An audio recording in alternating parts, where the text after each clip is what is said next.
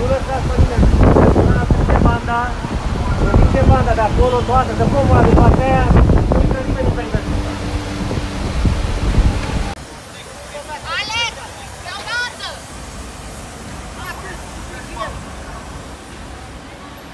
Yeah.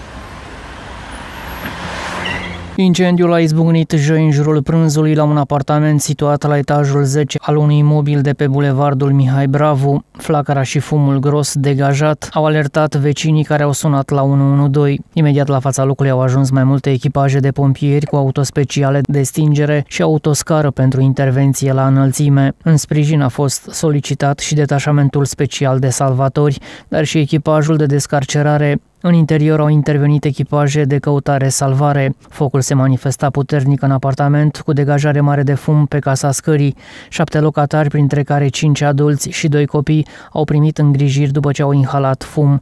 Misiunea a fost extrem de dificilă. În apartament inițial s-a putut pătrunde doar parțial. Pompierii au intervenit de la înălțime cu autoscările pe ambele fațade ale clădirii.